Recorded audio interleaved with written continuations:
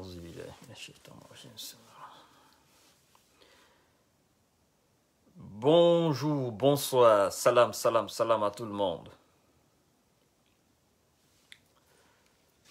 Salam à tout le monde, j'espère que vous allez bien.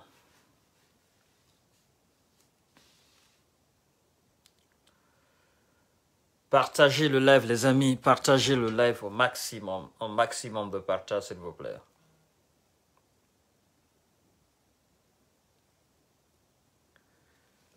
Partagez au maximum la vidéo.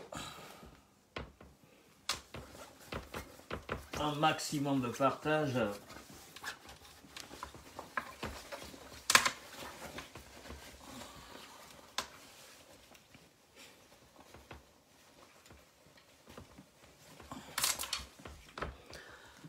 Partagez la vidéo, les amis, s'il vous plaît. Maximum de partage. Aujourd'hui, comme vous savez, je suis avec euh, le phénomène Manjan Sidibé. Tout à l'heure, il va nous rejoindre là. Justement. Justement, justement, vous partagez au maximum la vidéo.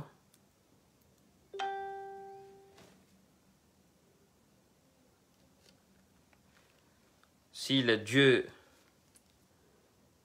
les dieux de la connexion nous permettent,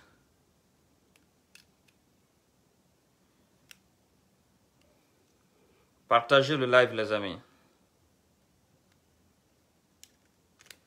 Faites un maximum de partage.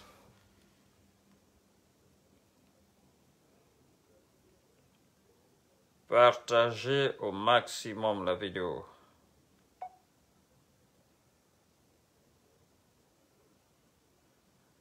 Maximum de partage.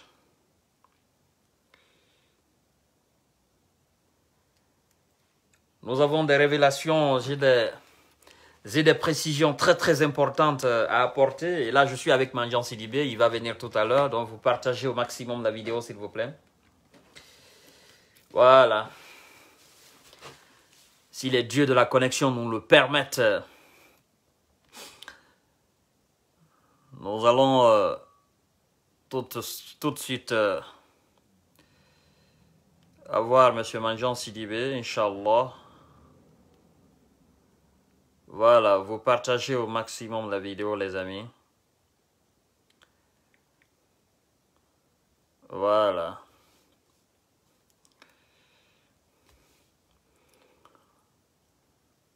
Il est en, il est en préparation un peu.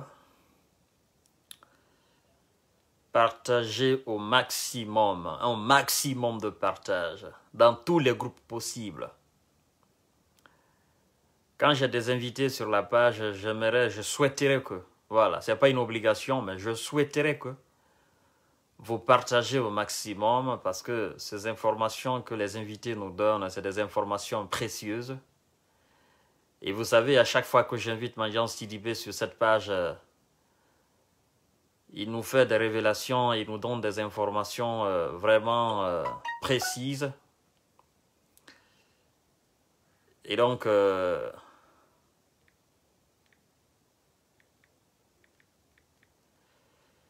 il serait mieux pour nous de, de partager la vidéo. C'est le seul moyen pour nous de gagner cette bataille médiatique. Vous voyez?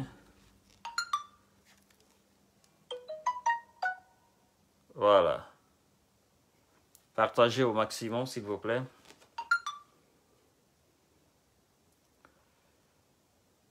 Je vais le prendre tout à l'heure, Inch'Allah.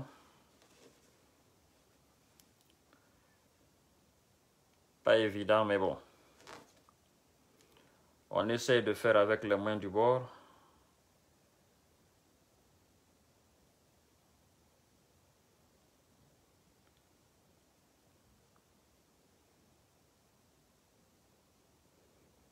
Partagez au maximum, les amis. Vous avez vu euh, tout ce qui se passe euh, sur la toile. Et donc, euh, tous les cris de ces militants du RPG Arc-en-Ciel, tout ce qu'ils sont en train de, de lancer un peu partout.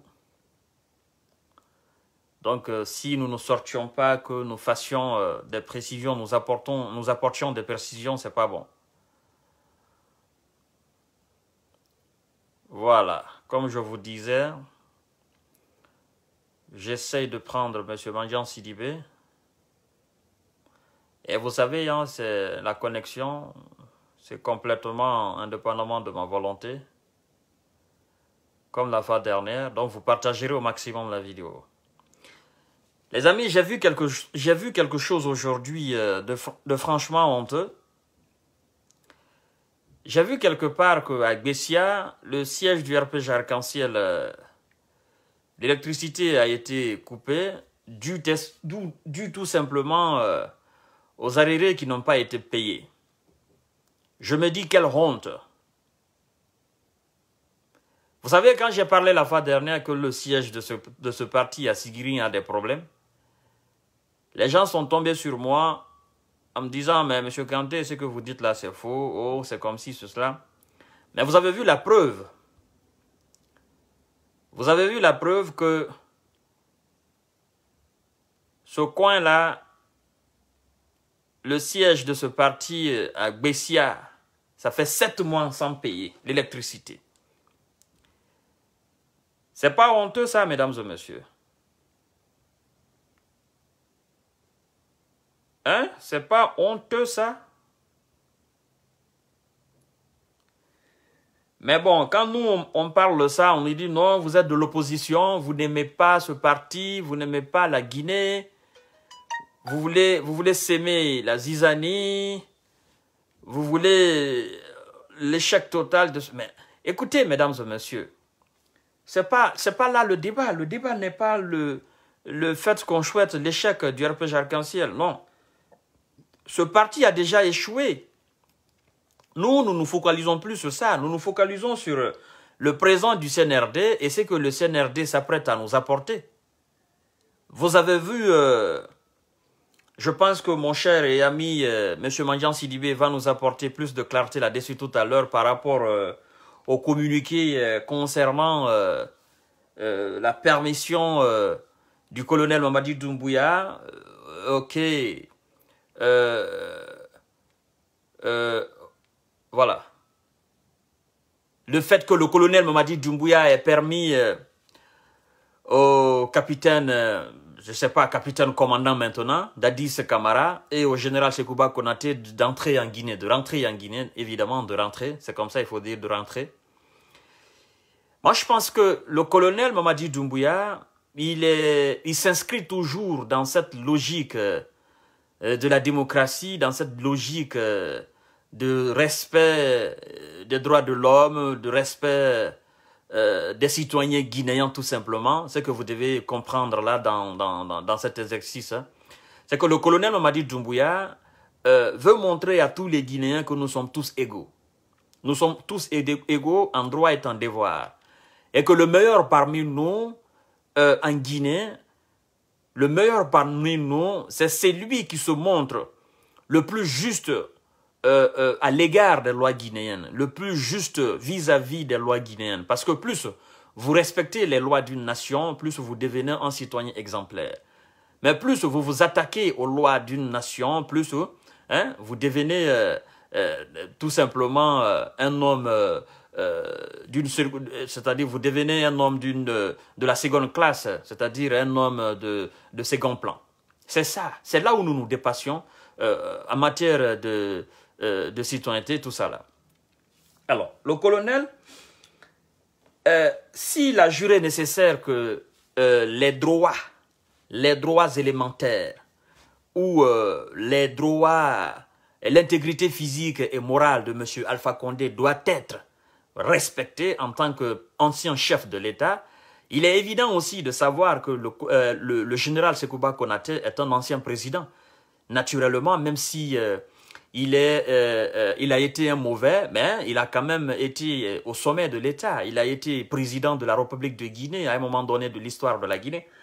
Il faut aussi mentionner que M. Dadis Camara est un ancien président de la République de Guinée. Alors, j'essaie toujours de prendre Manjan Silibé, mais je, je vois qu'il y a un problème de connexion. Je viens de le laisser un message pour qu'il puisse m'appeler en direct, même si je n'arrive pas à le joindre en vidéo ok, euh, que je puisse au moins, nous puissions l'attendre, euh, l'entendre au moins en audio. Parce qu'avec la connexion, c'est, la connexion vidéo, c'est pas facile et en plus de ça, l'image n'est pas claire. Donc, euh, vous connaissez déjà la voix de Manjan. Je pense que je j'ai pas besoin de truquer pour cela. Il va, il va m'appeler certainement tout à l'heure en direct et voilà, nous pourrons communiquer. Alors, je reviens à mes mots et Je disais tout à l'heure que il est évident de noter que le, euh, le, général Sekouba Konate, bien vrai qu'il soit, qu'il ait été un mauvais chef euh, à la tête de la République de Guinée, bien vrai qu'il ait été à la base de toute cette euh, pagaille présidentielle en Guinée, toute cette souffrance que la Guinée subit aujourd'hui, il, est, il, est, il, est, il est juste de mentionner qu'il a été un ancien chef d'État. OK. Et qu'il a été envoyé à l'exil forcé et le maintenir là-bas, parce que le colonel, euh, le, général Sekouba Konaté lui-même, il a dit, euh, il était où là, secrétaire général de quoi là, de la force, de la force africaine en attente, quelle force de, la mythologie.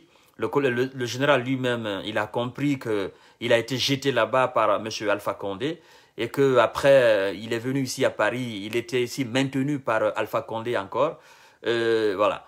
Et vous connaissez aussi l'histoire de Dadis Kamara, Dadis Kamara qui a été, euh, qui a reçu euh, euh, des balles en 2000, 2009, je pense bien, 2009-2010, quelque chose comme ça, et par Monsieur Toumba. J'ai pas envie de, de, mettre le couteau, dans, les plaies pour remuer encore. Bien évidemment, Dadis qui a été soigné quelque part au Maroc, qui a été refusé par bon nombre de pays et finalement qui a été envoyé au Burkina Faso, le pays d'origine d'Alpha Condé, naturellement. Parce que euh, ce qu'il faut savoir, c'est que Blaise Compaoré était là en ce moment, et Blaise étant un jeune frère d'Alpha Condé, ben, nous avons compris euh, avec le recul que la destination de Dadis Camara euh, n'était pas, pas au hasard, ça a été calculé, évidemment. Et tout au long du séjour de Dadis Camara au Burkina Faso, Dadis a toujours voulu entrer en Guinée afin que s'il y a justice, qu'on puisse organiser la justice. Dadis a voulu toujours euh, en tant que bon militaire, en tant que bon Guinéen, voulu toujours faire face à la justice guinéenne. Il n'a pas caché cela. Il s'est toujours tapé la poitrine pour dire, ben, écoutez, je suis un Guinéen, euh, si euh, il m'est permis d'entrer en Guinée, je vais entrer en Guinée et je vais faire face à la justice guinéenne. Ben, Sekouba Konaté aussi, il a toujours dit qu'il veut entrer en Guinée. Et on a compris par après que la personne qui, qui, ne souhaiterait pas que ces gens-là entrent en Guinée, rentrent en Guinée, du moins c'était M. Alpha Condé. Bien évidemment, c'est très important de mentionner cela, parce que euh, euh, Alpha Condé étant euh, à la queue, est à la tête de toute cette mascarade du 28 septembre, je pense que M. Manjan Silibé saura tout à l'heure nous apporter de la lumière là-dessus évidemment, parce que nous détenons ce dossier, nous détenons les acteurs pivots euh, euh, euh, de cet événement macabre, ok, il faut le mentionner, de cet événement macabre. Voilà, nous détenons les noms, les, noms seront, seront remis à qui de droit en Guinée pour que la justice soit faite. Évidemment, nous avons compris que l'arrestation de Toumba au Sénégal, c'était pas aussi quelque chose qui a été, voilà, c'était pas quelque chose comme on appelle au hasard, ok, ça a été calculé minutieusement. Évidemment, euh, Alpha Condé qui a voulu euh, maintenir M. Toumba Diakité euh, en prison, hein, tout simplement jusqu'à la, jusqu'à la, à la fin de son mandat ou jusqu'à sa mort, parce qu'il était convaincu qu'il allait rester au pouvoir jusqu'à sa mort, hein, sachant très bien qu'il n'y a, jamais eu un coup d'État un, un, coup d'État en Guinée contre un chef d'État ou un président. le monsieur s'est appuyé sur l'histoire. Après les élections, vous l'avez vu au camp au camp, euh, au camp Alpha Yaya, là où il est allé amadouer les militaires, euh, il est allé faire un lavage de cerveau à ces militaires du camp Alpha Yaya pour dire, ben, écoutez, euh, le, le, le, feu Ahmed Sektouré, camarade Ahmed Sektouré, paix à son âme, est resté au pouvoir jusqu'à sa mort. On n'a jamais organisé un coup d'État. bien évidemment, il y a eu des agressions, le peuple de Guinée s'est levé, le peuple de Guinée a fait face à ces agresseurs. Il a oublié de mentionner que lui-même, il faisait partie de ces agresseurs. Évidemment, nous n'allons pas oublier parce que nous connaissons l'histoire de notre pays. Et euh, en parlant de cela, il nous parle de l'indépendance. Euh, et après, il nous dit, euh, il dit à ses militaires que Monsieur Lansana Conté, le feu Lansana Conté, bien vrai qu'il ait été un dictateur, j'ajoute là-dessus, un dictateur, Lansana Conté a été un, très grand dictateur en Guinée et, dans toute l'Afrique entière. Ok, parce que il faut pas retirer, ok, cela à Monsieur Lansana Conté le fait qu'il soit dictateur, qu'il ait été dictateur, bien évidemment. Je, mets un accent très particulier là-dessus, parce que c'est tous ces gens-là qui ont contribué aujourd'hui au malheur de ce pays-là. Hein. Euh, je vois des gens qui aujourd'hui applaudissent M. Lansana Conté pour dire que ben, c'était un chef exemplaire. Mon œil, c'était pas un chef exemplaire. Lansana Conté était un dictateur à l'image d'Ahmed Sektouré, aussi dictateur. Hein? Et euh, Alpha Condé, euh, il est allé se taguer la poitrine devant les militaires au camp Alpha Yaya pour dire écoutez, on n'a jamais fait de coup d'État ici. Ben, nanani, nanana, ceux qui sont en train euh, de crier oh, oh, laissez-les crier. Nous, nous sommes en Guinée. Personne ne viendra nous imposer quoi que ce soit. Euh, nous sommes un État indépendant euh, totalement. Euh, depuis 1958 et nous avons su faire face, euh, euh, n'est-ce pas, aux attaques de l'ancien colon. voilà, c'était une fierté. Écoutez, je vais prendre M. Mandian Sidibé, s'il vous plaît. Allô? Oui, tu m'entends maintenant là? Ah, mais la voix, la voix est trop basse. Ah ouais, la voix est basse. Est-ce que tu peux me rappeler Est-ce que tu peux couper Oui, mais il y a, y, a, y, a, y a de l'écho là. Il faut essayer de te déplacer un peu, un peu, ouais. On va voir, parce que le réseau, c'est pas, c'est pas évident. D'accord. Alors, on va Ouais. Euh, je vais ouvrir un peu la fenêtre. Ça va aller. Euh, Waouh. Partagez le live. Ça marche un peu? Euh, Il y a toujours de l'écho, je sais. Marche? Il y a toujours de l'écho, je sais pas.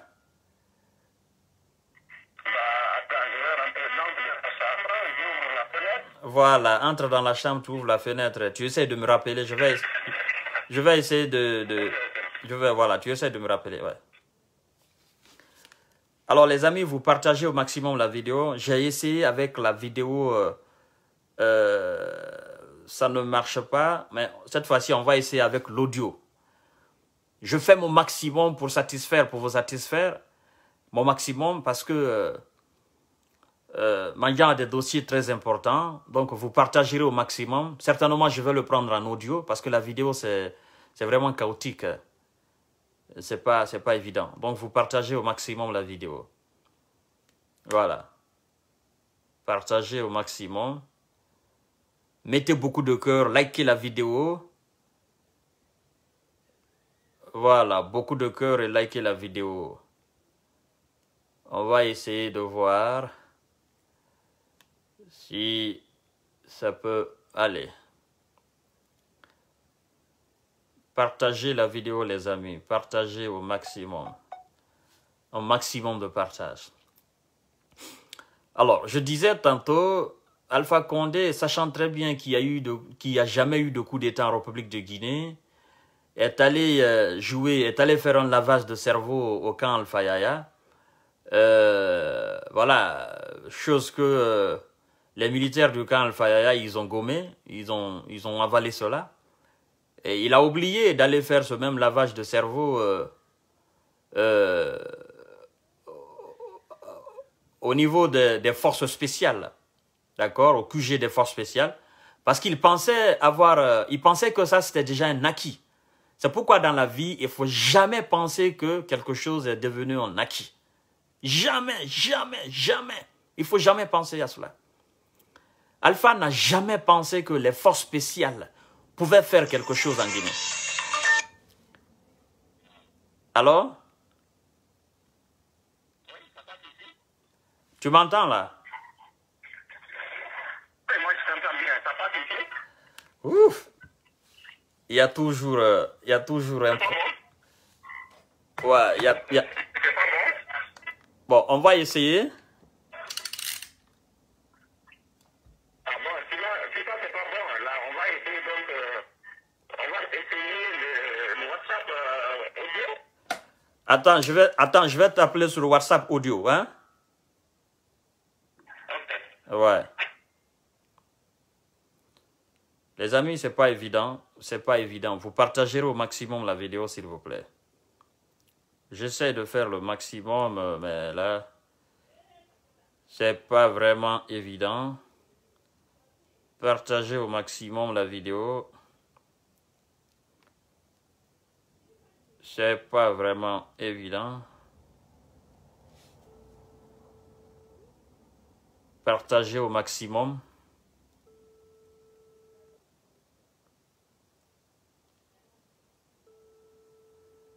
Waouh. Partagez, partagez, partagez. Alors, après, monsieur, monsieur Alpha Condé, comme je disais, n'a jamais imaginé que les forces spéciales pouvaient faire quelque chose. Parce qu'en ce moment, ce qu'il faut dire, c'est que en ce moment, euh, on avait l'impression que les forces spéciales et Alpha Condé, ça conjuguait un même verbe. Voyez-vous, même s'il y avait les prémices euh, d'un désaccord, mais ce qu'il faut dire, c'est que le désaccord entre les forces spéciales et Alpha Condé, c'est pas venu d'Alpha Condé. Ça, c'est très important à souligner. Hmm? La zizanie, c'est-à-dire la mésentente entre euh, Alpha Condé et les forces spéciales, c'est pas venu d'Alpha Condé. Alpha Condé, on a fait un lavage de cerveau à Alpha Condé. On est allé mentir Alpha Condé. Vous comprenez, mesdames et messieurs? Ceux qui sont allés mentir Alpha Condé en disant que le colonel Mamadi Doumbouya veut faire un coup et que le colonel Mamadi Doumbouya, euh, il a maintenant des galons, euh, voilà, ses intentions ne sont pas bonnes, il prend de l'influence. Ce sont eux qui voulaient le pouvoir après Alpha Condé. Voyez-vous? C'est pourquoi euh, Alpha Condé ne saura pas vous dire aujourd'hui pourquoi le colonel Mamadi Doumbouya est arrivé jusqu'à le déloger. Oui. Et pour les personnes réfléchies, vous devez comprendre, vous devez comprendre que à travers les explications du colonel, en disant je n'ai rencontré Alpha Condé que deux fois, voyez-vous, je n'ai rencontré Alpha Condé que deux fois, ça explique tout. Ça veut dire que en réalité, euh, il n'y avait pas ce grand rapport direct entre Alpha et le colonel. Ce grand rapport direct n'existait pas entre Alpha et le colonel. Il y avait des intermédiaires entre Alpha et le colonel. Ben écoutez. Alors, Tu m'entends ici maintenant? Là, ici c'est mieux. Ici c'est magnifique. Ok, là, je reste là. Je suis sorti de la maison, je suis dehors dans le couloir quelque part. Ah voilà, ici c'est magnifique. Va, on va profiter avant que ça se dégrade. Exactement. Alors, mesdames et messieurs, j'ai aujourd'hui Mangeant en audio. Parce qu'on a essayé en vidéo, ça ne marche pas, c'est un problème de connexion. Donc, vous partagerez au maximum la vidéo. Mangeant Sidibé a, a, des révélations à nous faire et des précisions très importantes euh, à nous apporter. Alors, Monsieur Mangeant Sidibé, on ne va pas retarder. Vous êtes euh, en direct euh, avec les abonnés. Là, vous avez l'antenne. Je ne vais pas abuser de votre temps parce que je sais que c'est vous avez votre temps est beaucoup plus beaucoup plus précieux. Donc, je vous laisse l'antenne. Vous êtes avec les abonnés.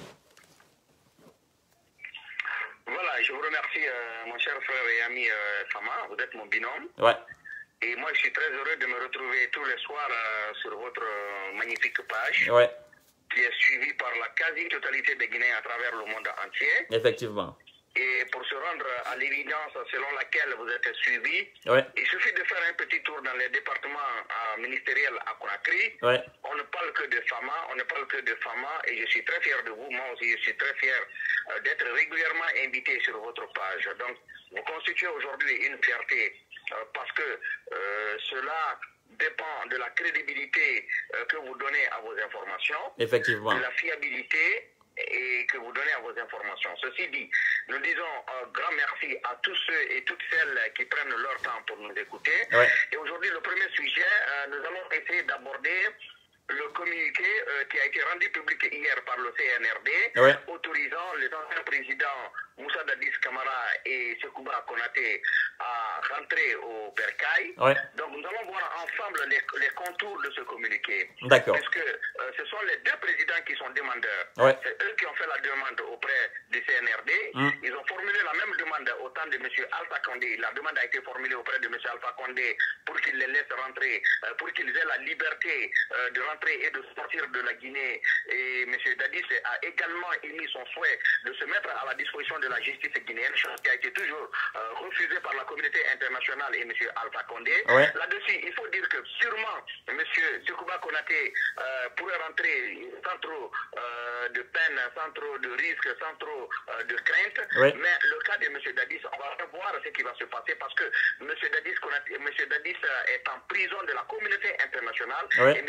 Alpha Condé n'était qu'un exécutant euh, de la consigne de la communauté internationale parce que on est sans le savoir que M. Dadis Camara avait dans un, à un moment donné nargué la communauté internationale Ouais. en, en- insinuant que la Guinée n'est pas une sous-préfecture de la France, la Guinée n'est pas un quartier de la France pour que la France dicte ses, ordres. Et vous avez constaté que euh, derrière l'attaque de M. Dadis Camara, il y a beaucoup, euh, il y a la communauté internationale, eh ben, avec un secret de polichinelle. Ouais. Parce que il y a la communauté internationale derrière l'attaque. M. Alpha Condé n'est pas innocent non plus. Ouais. J'ai eu à un moment donné à évoquer ce sujet parce que j'en ai parlé suffisamment à Dakar avec M. Toumba Diakité qui est un grand ami et on, en a, on a eu à en débattre à, à Dakar et je crois que c'est l'occasion pour moi maintenant de revenir parce qu'à l'époque je n'avais pas l'opportunité de m'exprimer sur une page ni dans, euh, dans un média. J'étais exilé à Dakar et j'avais beaucoup de soucis. M. Fakonde était en complicité avec les autorités sénégalaises pour que je sois extradé euh, vers la Guinée. Donc, je contraint à- au mutisme, j'étais contraint au silence, Ouais. ce qui a fait que, en son temps, quand bien même j'avais les informations, mais je n'ai pas pu les divulguer, je n'ai pas pu les mettre à la disposition de la euh, communauté guinéenne parce que j'avais le, droit- euh, le devoir de réserve en tant qu'exilé à, à Dakar. Sinon, j'avais beaucoup d'informations, notamment comment est-ce que le coup a été euh, préparé avec la complicité de M. Bernard Kouchner. Ouais. Je suis au courant de tout. Comment le petit bateau est venu accoster euh, derrière la base de, de, de Bata, bataillon euh, autonome des troupes à reporter, c'est-à-dire la garde présidentielle. Le petit bateau a accosté là, c'est là que M. Toumba a embarqué à destination euh, de, Dakar. Ouais. Voilà, tous ces détails-là, on aura à, à- à les mettre sur la place publique parce que le procès va commencer dans 3 à 4 mois. Ouais. Et donc, c'est pour dire que le retour de Dadis va être un tout petit peu compliqué parce qu'il y a la communauté internationale qui est impliquée dans cette affaire. Ouais. Euh, beaucoup de puissances étrangères sont impliquées dans l'affaire du 28 septembre, euh, dans l'attaque notamment le- de Dadis. Alors, donc M. Alpha Condé n'est pas innocent, comme je le disais, M. Bernard Kouchner n'est pas innocent, Ouais. et beaucoup d'autres euh, puissances étrangères ne sont pas innocentes. Ouais. Donc, euh, la preuve est que M. Dadis Camara était parti au Maroc pour se soigner. Mm. Il a pu se soigner. Il, il était dans un avion qui le ramenait vers Conakry. Ouais. Et donc, la communauté internationale avait monté un guet-apens, avait monté un complot pour ne pas qu'il rentre en Guinée avec la complicité, bien entendu, de M. Alpha Condé et de Bernard Kouchner. Ouais. Et donc, arrivé à da- monsieur, l'ancien président euh, de Burkina Faso, Blaise Compaoré, a été mis à contribution pour que l'avion de monsieur euh, Dadis soit euh, bloqué à, à Ouagadougou. Ouais. C'est ainsi que c'est ainsi que le personnel de l'avion avait dit euh, à, à, chose à M. Dadis, Ouais. ils, sont, ils ont atterri à, ils ont atterri, euh, à, à Ouagadougou Mm. et le personnel a fait croire à M. Dadis que l'avion était en panne et que, parce que Dadis a dit, ben, on est où là? On est arrivé à Conakry on lui a dit non, on n'est pas arrivé à Conakry, on est à, Ouagadougou, Ouais. mais l'avion est en panne et on va essayer de dépanner ici l'avion le plus rapidement possible. Ça ne prendra qu'une heure de temps, mais le temps pour nous de dépanner, vous pouvez descendre de l'avion pour aller au salon VIP. Et donc quand il allait s'installer au salon VIP, Ouais. c'est le général Gingiri qui est actuellement en prison. C'est le général Gingiri qui est venu vers Dadis pour le ramener maintenant en prison et déguisé. Ouais. C'est le général Gingiri qui a été dépêché par le président euh, Blaise Compaoré pour venir le convaincre à rejoindre euh, la villa Ouaga 2000. C'était pour l'installer dans, euh, dans sa prison dorée. Alors, tranquillement, on a venu dire à Gengiri est venu dire à mon, mon capitaine, eh ben, l'avion est en panne, on ne peut pas vous laisser ici dans un aéroport. Et donc, euh, le président m'a mandaté de venir vous chercher et de vous ramener à, à, à, à chose à la résidence à Ouaga 2000. C'est ainsi qu'il a quitté l'aéroport. Il a été berné pour descendre de l'avion par le personnel. Il a été berné par le général Guinguéré pour rejoindre euh, la résidence Ouaga 2000. Ouais. Et donc, dès qu'il s'est installé là, c'est parti pour son séjour en exil forcé. Effectivement. Donc, c'est la communauté internationale qui n'a pas voulu qu'il retourne. Hum, Et tout était, tout était planifié pour ne plus qu'il continue la transition. Mhm. Et donc c'est ainsi que j'en j'en ai parlé. hein. Je parle bien sûr sous le contrôle de monsieur, de- du général Sekouba Konaté également. Tout Ouais. le monde connaît mes relations à Paris avec le général Sekouba Konaté, avec qui j'ai débattu de cette question de long en large. Mhm. Je suis à Paris presque tous les week-ends. Je suis avec le général Sekouba. Tout, tout le monde connaît Ouais. la qualité de mes relations à Paris avec euh, le général Konaté. Mhm. J'en ai parlé de long en large aussi avec lui. Pour le moment, peut-être le temps n'est pas arrivé pour moi de déballer tout ça là maintenant là, en un seul coup. Ouais. Et donc, mais il faut reconnaître que le retour de M. Dadis Kamara pourrait poser beaucoup de problèmes, beaucoup d'énormes problèmes, Mm. parce qu'on craint que Dadis ne, euh, ne fasse des dénonciations. Parce que vous avez écouté les avocats de Dadis qui disent que Dadis ne se reproche de rien dans cette affaire, que Dadis est, exempt de tout, euh, euh, euh, Reproche. de tout reproche dans ce dossier. ouais. Ben, tout ce qu'on pourrait lui reprocher selon ses avocats, c'est parce que tout simplement, il était le commandant en chef des forces armées euh, guinéennes, il était également euh, le, le- le- le président de la transition, Ouais. le président de la République chef de l'État au moment des faits. Donc tout ce qui passe, se passe sous sa gouvernance, il endosse l'entière responsabilité. À ce point-là, oui. Mais tout le monde sait que Dadis n'était pas partant pour une attaque. C'est peut-être M. Keburo et M. Euh, ils peuvent porter plainte, hein, ben, parce qu'on a des preuves aussi. C'est Ouais. M. Keburo et M. Euh, comment il s'appelle, Papa Kouli, qui répondront en, en grande partie. Parce que Dadis n'a pas voulu qu'on tire sur la population. Ouais. Mais c'est M. Papa Kouli qui a dit écoutez, il a donné l'ordre à Toto de tirer, de, de, de, de- de signer la réquisition pour que l'armée tire sur la foule. Ouais. Et donc, monsieur, euh, euh, le général Toto ne vit pas aujourd'hui, il est dans le monde de la vérité, nous, nous sommes dans le monde du mensonge ici, Ouais. mais peut-être qu'il m'écoute et il pourra témoigner euh, dans, l'autre tombe là-bas. Oui. Mais ce qui est vrai, c'est que M. Papakoli n'est pas du tout, du tout innocent dans cette affaire. D'accord. Et donc, c'est lui qui a fait signer la réquisition. Mm. Et aujourd'hui, il ne peut pas s'en sortir, d'autant plus que lorsqu'il a tenté de nier, qu'il n'a pas donné euh, euh, l'autorisation à Toto de signer la réquisition, Ouais. ils ont été confondus de- devant la commission de la, de la CPI. Ouais. Et puis, il a dit à Toto que lui, il n'a jamais ordonné. Toto a dit, vous m'avez appelé à telle heure et telle. Effectivement, il avait masqué son, télé, son numéro, mais sauf que l'opérateur a pu démasquer le numéro et on s'est rendu à l'évidence selon laquelle, à cette heure précise, M. Papakoli avait effectivement appelé sur le numéro de M. du général Toto. Donc, c'est rétabli déjà que euh, la responsabilité de M. Papakoli n'est pas à écarter dans cette affaire. Alors, donc, sur ce plan, sur ce plan, Ouais. M. Dadis peut être inculpé en tant qu'ancien chef d'État, en tant qu'ancien président de la transition, qui, Ouais. au moment des faits, Ouais. était le commandant en chef des forces Armées. Donc, il a été berné pour qu'il soit aujourd'hui en résidence, euh, en résidence surveillée. C'est une, c'est une prison déguisée. Oui. Il a émis le souhait plusieurs fois pour qu'il vienne en, en- en Guinée. Ouais. On le lui a refusé. Même pour le décès de sa maman, il est venu, il est passé par euh, le Libéria, il est rentré par la frontière là-bas. On lui a euh, prêté un hélicoptère. Ouais. Ah ben, vous vous imaginez combien de fois on craint qu'il arrive. Maintenant que Alpha est maîtrisé, maintenant que euh, la situation a changé, le CNRD s'est inscrit dans la logique de faire de la, de, de- de la justice, de faire du respect des droits la boussole de sa gouvernance. Ouais. Nous, nous aurons croire que M. Dadis, qui a toujours émis le souhait de venir en Guinée pour répondre euh, Devant la justice, ouais. des faits qu'on lui, reproche, Mm. ben, l'occasion lui est donnée.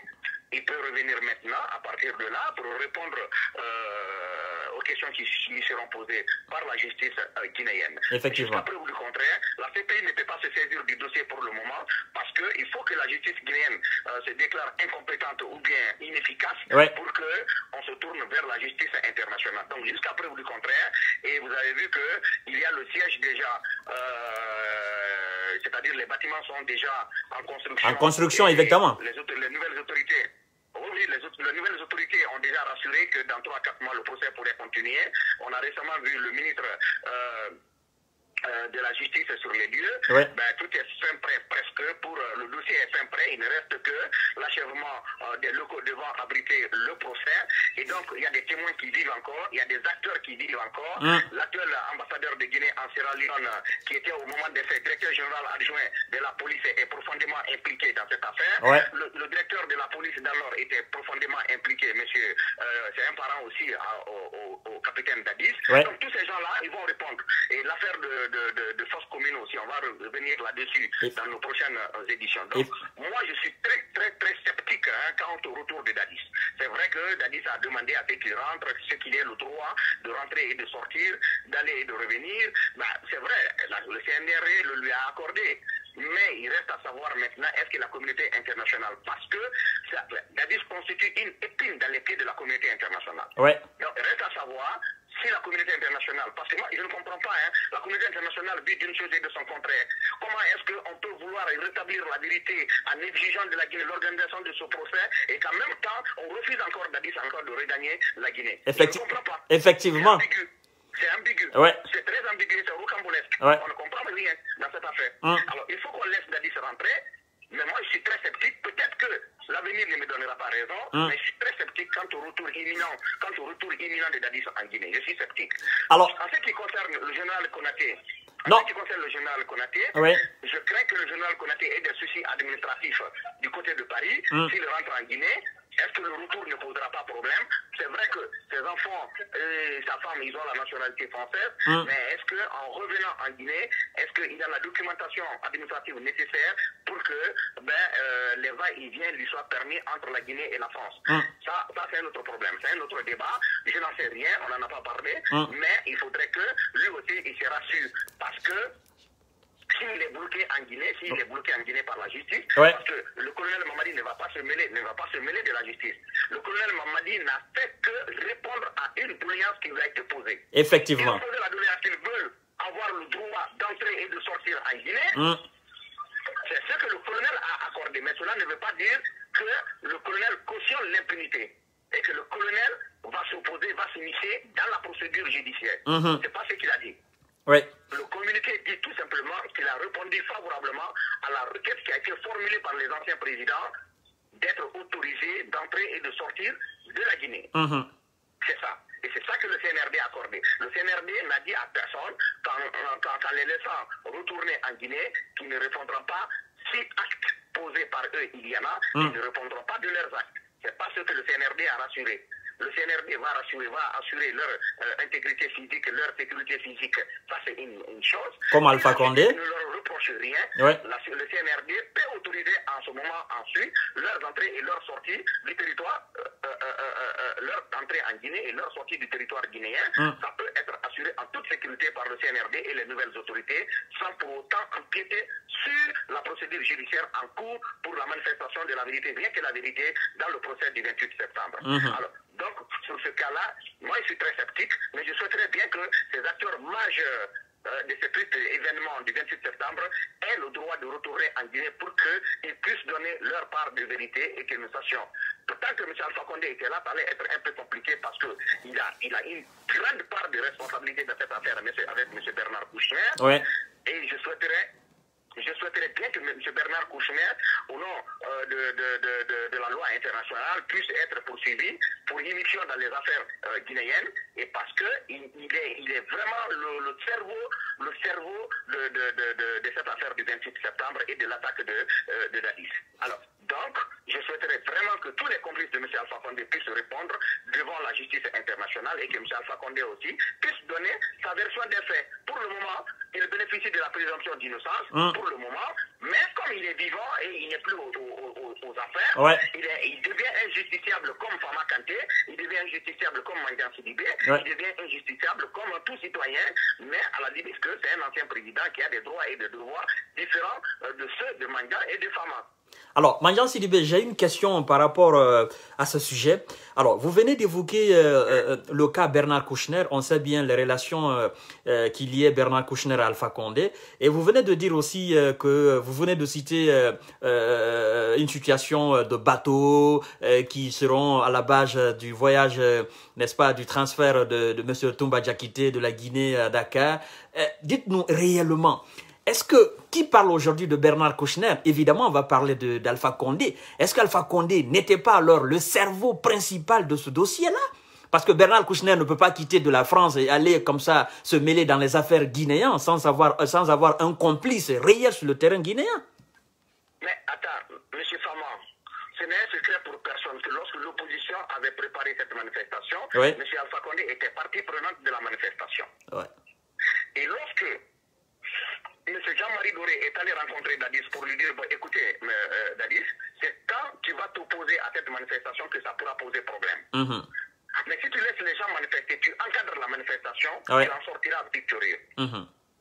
Et Dadis a été très réceptif des conseils prodigués par le, feu Jean-Marie Doré. Jean-Marie Doré, oui.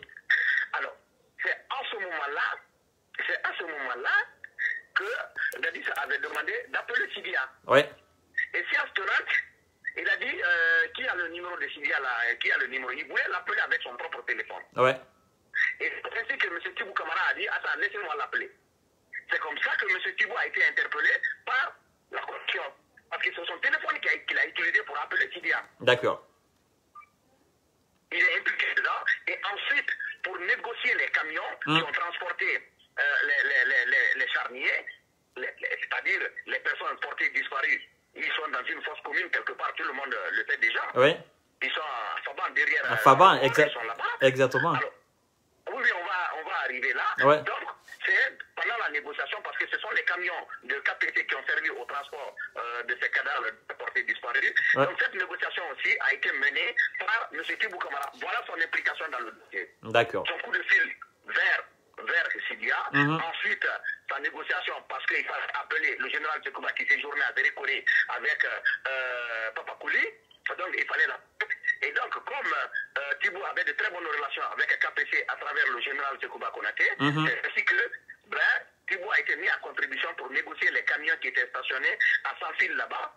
Hein, donc, les camions, mais KPC a dit devant la commission qu'il a prêté les commissions parce que c'est le pouvoir, euh, ces camions à la commission, parce que c'est le pouvoir qui lui a demandé qu'il ne pouvait pas refuser, mais que ce ne sont pas ces chauffeurs qui ont conduit les camions, que ce sont des militaires qui ont conduit les camions. Donc pour lui, ben, sa responsabilité n'est pas engagée parce qu'un simple citoyen ne peut pas refuser un service euh, de, de, des autorités en place. Donc, il a prêté les camions, il ne, savait, pas à quel usage les camions allaient être déployés. Il ne sait pas non plus qui a conduit les camions. Devant la commission de la CPI, c'est ce qu'il a dit. La commission d'enquête. Donc, dit qu'il n'est responsable de quoi que ce soit. Ces camions lui ont été presque extorqués et donc, on a formulé la demande et il n'avait pas le choix que de prêter les, les camions, mais qu'il ne savait pas à quelle fin les camions allaient être utilisés et que ce n'est pas non plus, ce ne sont pas non plus ces, ces chauffeurs qui ont conduit les camions. Ce sont des militaires. Qui, quels militaires Il l'ignore, il les ignore. C'est ça qu'il a dit devant la commission. Donc aujourd'hui, toutes ces vérités-là vont être établies. Lorsque Dadis sera là, lorsque Fofakoli sera là, lorsque euh, euh, euh Toumba sera à la barre, parce que Toumba a certaines vérités moi, je suis d'accord avec Toumba quand il dit qu'il faut fermer les frontières avant de commencer le procès. Ah, alors, M. Maïdan, j'ai une question très importante, très précise par rapport à ce dossier. Si le colonel Mamadi Doumbouya tient vraiment que qu'on fasse euh, justice euh, euh, dans cette affaire à sa présence, moi je me dis, est-ce que l'ouverture de ce procès dans cette période de transition, est-ce que ça va pas prolonger la transition? Parce que euh, moi, je me dis, un, civil président à la tête qui va s'attaquer à ce dossier, est-ce qu'il ne va pas tomber? Et un militaire à la tête euh, de la République de Guinée qui ouvre ce dossier, est-ce que ça risque pas de prolonger la transition? Parce que c'est un dossier quand même lourd. Hein? Monsieur Fama, Monsieur Fama, Monsieur Sama, je ne comprends pas le sens de votre question, je ne, je ne comprends pas. Parce que moi, je ne suis pas du tout pressé que cette transition finisse aussitôt sans mettre la Guinée sur les rails. On a trop de problèmes qui osait mettre hein, plus d'une centaine de généraux à la retraite ouais. Qui osait? Non, Personne. Personne. Qui osait mettre plus de, plus de 6 000 personnes à la retraite? Personne. Le colonel Mamadi. Personne. Qui osait? Personne. Qui osait ouvrir ce procès et garantir la sécurité des Guinéens, des justiciers et des justiciables Per- dans ce procès? Personne. C'est pas le colonel Mamadi. Qui osait? Personne. Alors, ma- ma on question- ma voir que- une chose et de son contraire en même temps. Non, ma, ma question, elle est simple. Tu parles de prolongation, tu parles de prolongation, tu parles de prolongation de la transition. Ouais. Moi, je ne trouve pas. Non, je veux, je veux dire tout simplement, est-ce que la, est-ce que la trans, On a l'occasion, je veux dire tout simplement, est-ce, oui, on a l'occasion d'assainir tous les secteurs de la Guinée en toute sécurité parce que celui qui est là, personne n'ose se lever. effectivement, Pourquoi se presser de dégager cette personne encore pour rentrer encore dans les guerres politiques? E- effectivement, c'est ce que, ce que je veux dire, Mandian. Je dis, mais est-ce que c'est pas la personne idéale pour finir avec tous ces dossiers-là et assainir la Guinée avant de quitter? C'est ce que je veux dire. Il le faut. Moi, moi, je crois c'est une chance pour la Guinée de l'avoir. Ouais. C'est une chance pour la Guinée d'avoir une telle transition. Hum. Moi, je crois que ça doit être la dernière transition en Guinée. Parce qu'il va mettre en place les bases d'une démocratie vraie, d'une administration efficace, dynamique et fiable en, en place. Il faut lui donner la chance de terminer tous ces chantiers Ouais. épineux. Donc, nous doter d'une constitution fiable, acceptée de tous les Guinéens. Il faudrait que nous laissions le temps nécessaire au colonel Mamadi Doumbouya de régler, de mettre de l'ordre en Guinée, de mettre euh, la Guinée sur les rails, comme je le disais tantôt. Moi, moi, cette affaire de durée de transition, quoi que ce soit, il y a des dossiers épineux qui ne peuvent être traités que par cette transition pilotée par les militaires. Moi, je n'appelle pas ça la junte. Effectivement. Une junte. Effectivement. Une junte, une junte, c'est le désordre. Ils ne sont pas du tout, parce qu'ils sont en train de mettre de l'ordre en Guinée. Mhm. Donc moi, je refuse euh, le, le- le- le- le vocable junte pour euh, désigner euh, les militaires qui sont actuellement au pouvoir. Je les considère tout simplement comme un pouvoir légal. Et donc, il faut les laisser aller jusqu'au bout. Les gens n'étaient pas pressés et tout le monde était déjà fataliste pour attendre les six ans de M. Alpha Condé. Cette junte ne va pas faire six ans. Donc pourquoi ne pas les laisser terminer? Le Alors- temps qu'il leur faut pour faire tout ce travail, tout ce travail colossal un, un politicien va monter encore. On a toujours vu les politiciens. Je ne suis contre personne. Hein. Je bien sûr, bien sûr, bien sûr. Mais nous, nous cherchons l'intérêt maintenant. Nous cherchons maintenant l'intérêt du peuple de Guinée. Effectivement. On n'est pas pressé pour que. Parce que euh, le colonel Mamadi ne va pas s'éterniser au pouvoir. Ouais. Mais laissons-lui le temps quand même de mettre de l'ordre avant de s'en aller. Parce que c'est lui seul qui en a la capacité actuellement. Un civil blague avec un tel dossier, on peut te dégager au petit matin, on te va voir, mets-toi de côté encore. On va se retrouver dans une autre transition. Effectivement, je- j'ai fait même une, une réflexion par rapport euh, euh, à ce même sujet. Je me dis, mais si on commence maintenant, on ouvre maintenant le dossier du 28 septembre 2009 euh, et que M. Alpha Condé est impliqué là-dedans, je pense que sa gestion sera une seconde affaire. Sa gestion euh, de l'État de 2010 en 2020, ça sera une seconde affaire. Monsieur, monsieur Fama, Ouais. si vous vous souciez aujourd'hui de la longueur, de l'agenda, de la durée de la transition, c'est parce que vous n'avez pas perdu vos parents dans le 28 septembre. Ceux qui ont perdu les J'ai perdu, bien, bien évidemment, Mandian, j'ai perdu, j'ai perdu, j'ai perdu. Rec- Rectificatif, j'ai perdu. Ceux qui ont perdu les leurs sont pressés au- Ah ben voilà, ceux qui ont perdu les leurs sont pressés aujourd'hui de savoir où sont les corps de leurs proches. Effectivement, Ils effectivement, le savoir. effectivement, Parce qu'on dit porté disparu, on ne les a jamais déclarés morts. effectivement. On dit porté disparu. Ils veulent connaître la vérité. Est-ce qu'ils sont morts? Est-ce qu'ils sont portés disparus? Toi et moi, nous savons tous qu'ils ne sont plus vivants. Effectivement, bien évidemment. Mais en termes juridiques, on ne peut dire que, en termes juridiques et journalistiques, on ne peut dire que porté disparu parce que personne n'a vu leur corps, personne n'a la certitude qu'ils sont morts. Les gens qui peuvent nous prouver aujourd'hui qu'ils sont morts ou pas, ben, ils sont là, ils sont encore vivants. Et Ah. donc, la seule, les seules personnes qui peuvent les maîtriser et les mettre devant euh, les, les, les, les justiciers, Hum. c'est aujourd'hui les militaires. Effectivement. Ben, pourquoi se presser de les dégager? Et- Pourquoi se presser de les dégager? Et je me dis d'ailleurs, n'ai Sidibé, si... une transition organisée. Oui. Je n'ai jamais vu une transition organisée en, en Afrique et, et encore en Guinée comme celle-là. Effectivement. Ben, il faut en profiter. Et, Il faut en profiter. Et je me dis d'ailleurs que si nous avons la chance de, clore ce dossier du 28 septembre, que les responsables euh, sont, sont, sont traduits devant la justice et qu'ils sont euh, euh, incriminés là-dedans, ils sont condamnés, je me dis, ben, c'est une chance aussi pour nous d'évoquer le sujet du, du 22 janvier 2007, parce qu'on sait effectivement ce qui s'est passé euh, aussi euh, au, au temps de, de M. Lansana Conté. Et il y a, y a des preuves encore là, y a- les responsables sont encore là. Est-ce que ça sera pas aussi une seconde chance pour nous de clore tout ce dossier en Guinée avant de passer la, la, la présidence à un, à civil le disais tantôt, comme je te le disais tantôt, On a l'occasion, on a l'ultime chance d'éplucher tous ces sujets-là avec le colonel Mamadi Doumbouya en toute sérénité et en toute sécurité. Effectivement. Profitez-en. Profitons-en, profitez-en. Effectivement. Alors, Manjan Sidibé, euh, euh, je pense que vous avez un deuxième sujet aussi, euh, parce qu'on va pas passer, si nous voulons réellement décortiquer ce sujet-là, je pense qu'on va dormir ici. Oui. Alors, je pense que ça, il serait mieux de passer au deuxième sujet si, euh, voilà, vous avez encore le Euh, temps. Monsieur Famara, Oui, comme je vous le disais, que le chantier que euh, s'est assigné le colonel Mamadi, il est immense, il est honorable. C'est dans euh, ce contexte que s'inscrit, et bien évidemment, oui, le recensement administratif qui vient d'être enclenché. oui, Alors, quand vous, quand vous voyez les hôtels aujourd'hui, ils sont pleins, pleins, pleins, pleins, pleins, pleins de personnes revenant de l'Occident. là je suis témoin. Ouais, ouais. Et qui travaillent, qui sont en Occident, Ouais. qui sont payés, qui sont salariés là-bas, Ouais. et qui ont leur salaire en Guinée encore. Oui, Alors, je ne sais pas comment le, le président Mamadi Doumbouya va s'en sortir, Ouais. mais qu'il sache que les hôtels sont pleins, pleins, pleins. Je sais que les diaspos vont se fâcher contre moi. On s'en fout. On est en train d'assainir, il faut qu'on accepte. On a, plus, on, a plus, on a plusieurs milliers d'étudiants diplômés qui chôment. effectivement. Que les gens acceptent. Vous avez la chance d'être, vous avez la chance d'être en Occident. Ouais. Mais quand même, quand même, laissez la place aux jeunes. Et puis Manjan, ce qui est sorcier, Manjan, ce qui est sorcier dans tout ça, Vous avez 1300. Ce qui est sorcier dans ça, c'est que c'est des gens qui travaillent ici, qui prennent des fois des 2000 euros, des 2500, des 1800 euros. Ça fait quelque chose de, de, de, de, de 20 millions et de 25 millions de francs guinéens. qui ne veulent pas, et qui, ne veulent pas renoncer à 1 million 500 ici, à 1 million 200, Exact. à 1 million 300, et mais qui pourraient permettre à des jeunes ici de se prendre en charge, de prendre leur famille en charge. Effectivement. Et il faut les laisser bon sang, bon Dieu. Oui. Il y en a qui attendent plusieurs mois, il y en a qui attendent même une année qui s'accumule. Après, on envoie quelqu'un sortir ça et puis on leur transfère ça là-bas. Ou bien ils attendent ici.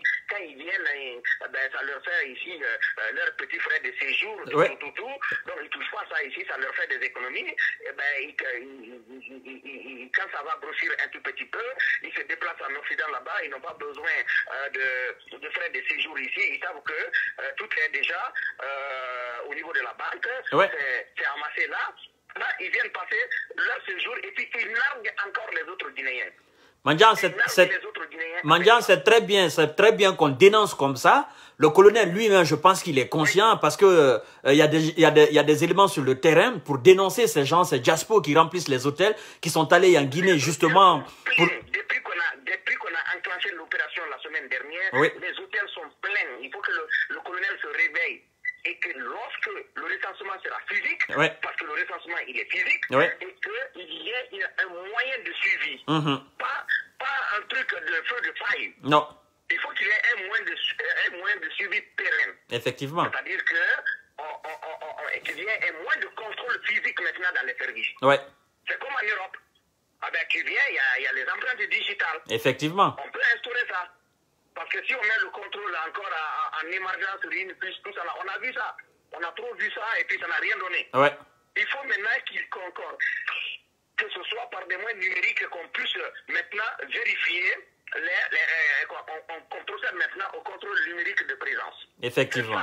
C'est pas- ce seul moyen maintenant. Donc, on, on, on, on- on constate son absence.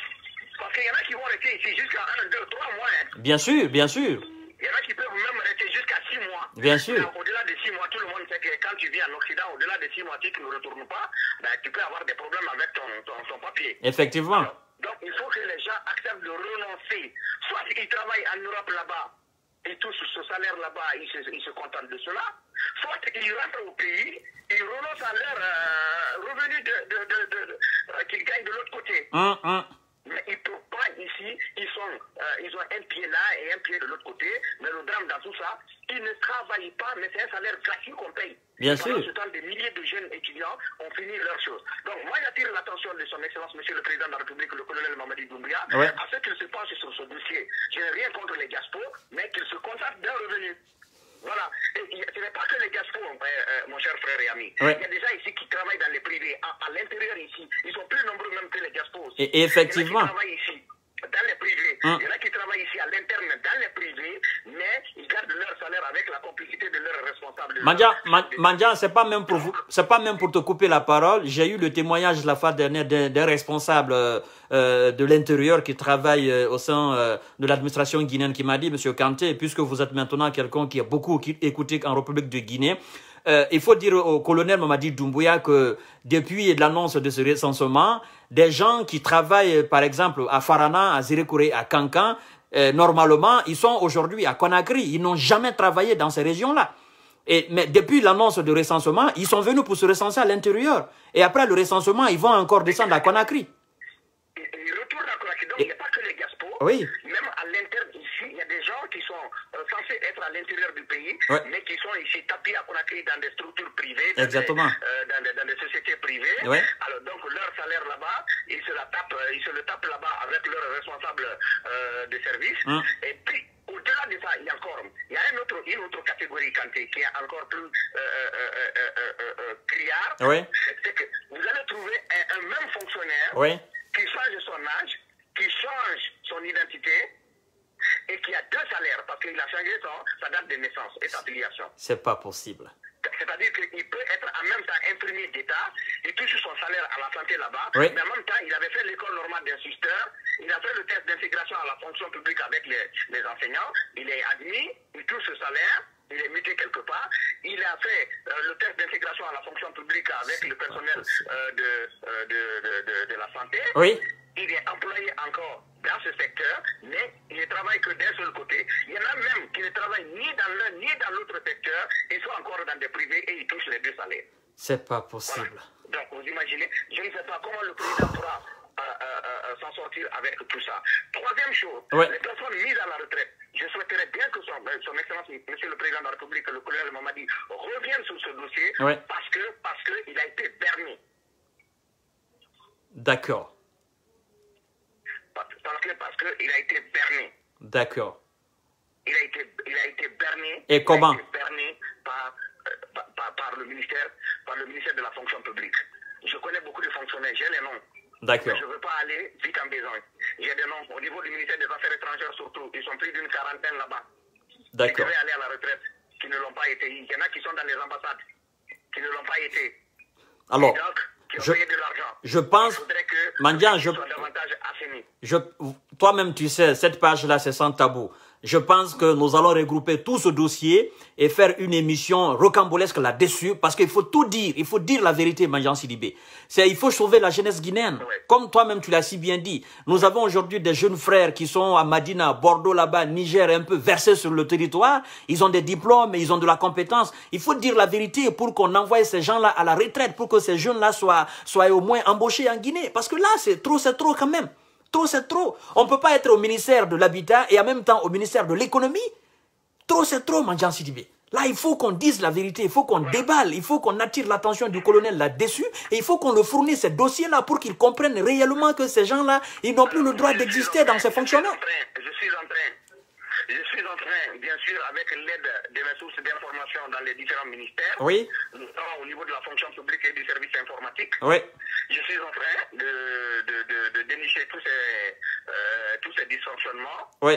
et je vais essayer de faire un mémo. Je me ferai le devoir de faire un mémo à l'adresse de son Excellence, Monsieur le Président, de la République, Inch'Allah. Effectivement. Et donc, mais en attendant, il faut qu'il sache, il faut qu'il sache qu'on n'est pas, en train de lui dire toute la vérité. D'accord. C'est le bon moment pour lui de, de continuer à, à approfondir les enquêtes pour que euh, les opérations d'envergure euh, très lourdes déjà engagées puissent aboutir à des résultats euh, plus concluants. On Non. des résultats concluants déjà, Non, Mandian. encore plus concluants Moi-. Moi, je me dis qu'il est béni, le colonel est béni. Parce que ce que lui ne sait pas, nous, on l'apprend aujourd'hui. Toi, tu l'apprends. Donc, si les gens, les mafieux là, ne l'ont pas dit la vérité, et toi, tu le dis la vérité, moi, je le dis la vérité. Donc, il sait déjà, parce qu'il nous suit là, il sait déjà où, se trouvent ces Et dossiers-là. La chance, que nous avons, la chance que nous avons, Oui. le colonel, il est, il est très réceptif Ouais. par rapport au conseil. D'accord. Voilà. Et ça, je sais. Ouais. peuple. Ouais. Tu l'appelles, il décroche. Tu l'appelles, il décroche. Tu Ouais. lui envoies un message, il répond. Ouais. N'importe quel Guinéen lui écrit, il répond. D'accord. Voilà. Donc ça ne veut pas dire qu'il va prendre tout le monde et tout, tout ça là pour argent comptant. Non. Mais il a un esprit de discernement. Effectivement. Il discerne très Ouais. Et donc, euh, mais il écoute tout le monde quand même. Il écoute. C'est sincèrement le chef qui nous manquait. C'est le président qui nous manquait. Et la chance qu'on a aussi, la chance qu'on a aussi avec lui, l'écoute du peuple. La chance qu'on a aussi avec lui, c'est que c'est un Guinéen qui est né en Guinée, qui connaît le fonctionnement du système guinéen. C'est pas qu'il soit né en Guinée. Il Ouais. a vécu en Guinée. Voilà, c'est ce que je dis. il, a vécu, il a vécu en Guinée. Voilà. Il connaît les réalités guinéennes. Il connaît la culture guinéenne. Ouais. Alors, donc vraiment, on a la chance d'avoir un jeune président aussi dynamique, aussi efficace, mais aussi euh, ouvert d'esprit, Ouais. très éclairé Mm. et qui a l'écoute de son peuple. Ce que j'a- j'apprécie chez lui, Ouais. son calme, sa sérénité. Ouais. Il ne, il ne répond pas hein, aux détracteurs. Ouais. Non, il continue son chemin. Ce qui l'intéresse, c'est la Guinée et les Guinéens. C'est Mhm. le nord de la Guinée. C'est le drapeau guinéen, le rouge et le vert qui l'intéresse. Le reste, ce n'est pas son problème. Effectivement. Voilà. Alors, donc, on va essayer euh, d'aller vite. Ouais. Le dernier sujet, c'est qu'on va essayer de le développer euh, dans notre prochain live. Et effectivement, Les tractations sont actuellement en cours par euh, la CNTG, Ouais. qui est en train de procéder au renouvellement de ces instances. Non, on, on- être, on fera ça euh, prochainement, Mandia. On fera ça prochainement.